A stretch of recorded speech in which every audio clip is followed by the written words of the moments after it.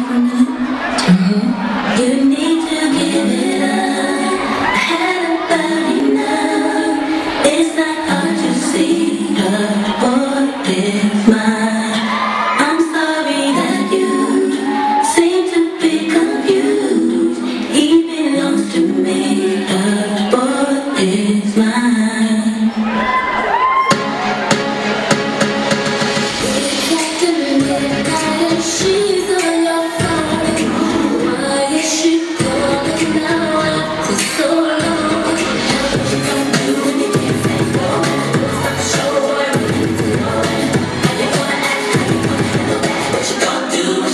you back.